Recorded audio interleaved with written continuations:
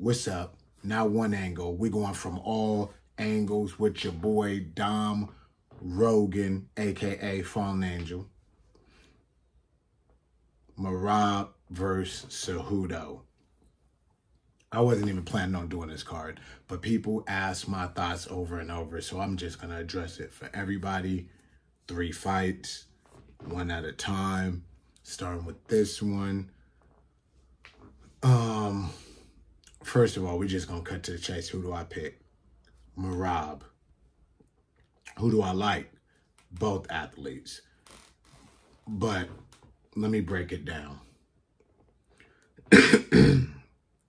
we have Merab, long unbeaten streak, good strength of schedule, beat John Dodson, one of the best to do it at that weight class. Moraes, talented but inconsistent, also beat by uh Cejudo, but with a lot more trouble till he turned to a thug. Aldo, systematic breakdown. Yan, systematic breakdown. We have Cejudo. Hadn't fought in a long time, fought Aljamain. Aljamain trains with Merab.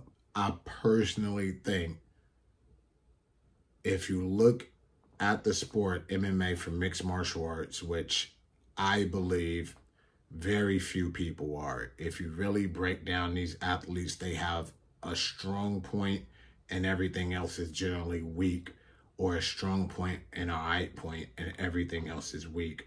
Merab is strong in pretty much all areas. He doesn't, he's not really weak in any area. Why I find that Aljamain has more areas of weakness than Merab, so I will put him as the better athlete who's just been sitting there being a real friend. Cejudo came back off a long layoff and lost to who I feel is the, I can't say the lesser athlete, but the lesser martial artist out of him and Merab. He beat Cruz. He beat Moraes. Yet again, a talented yet inconsistent person. These were his last wins. I do not like how Cejudo, it is very strange to me how an Olympian and a, and a two division champ when when he lost to Sterling, he was talking about retirement. He hasn't even fought Merab, and he's talking about if he can't beat him, he needs to think about retiring. There are some people,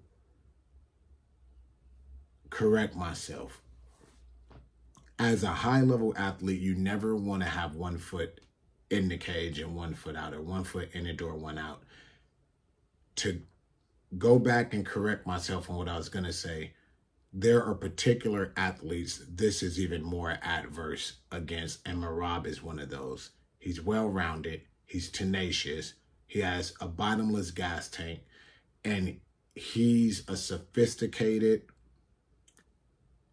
and a, basically a sophisticated whirlwind in his style and there's a method to the madness as seen as a, in his systematic systematic breakdown of Yan and Aldo.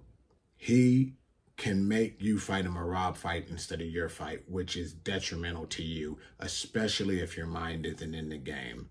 Cejudo did not get every takedown on Aldo. He, I mean, correction on Sterling. So Cejudo could not keep Sterling down.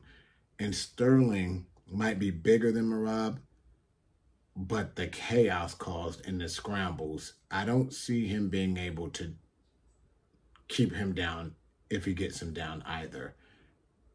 And so who don't need space? You know, he has a, almost like the karate stance. He needs time. He likes to set traps and everything. Didn't work with Yan, a beautiful boxer.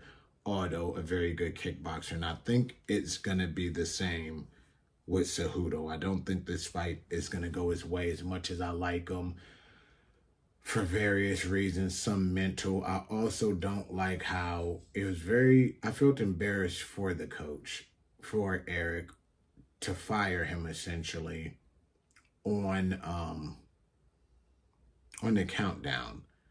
If you study sports statistics, especially combat sports, things generally don't go well for an athlete or they don't go well for long when they have somebody who knows them as a person first and an athlete second and has been a long time coach and they switch coaches.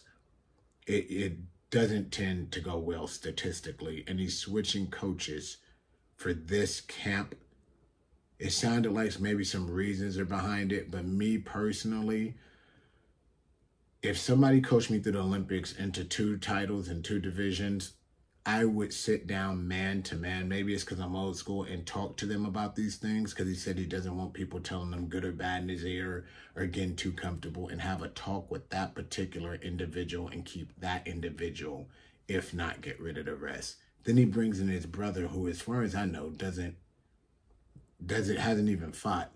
So I I I think it's gonna be competitive for a while until the house gets caught in a tornado, basically. So I'm giving it to Merab for these reasons. He's too focused. He's too diverse. He's been in there.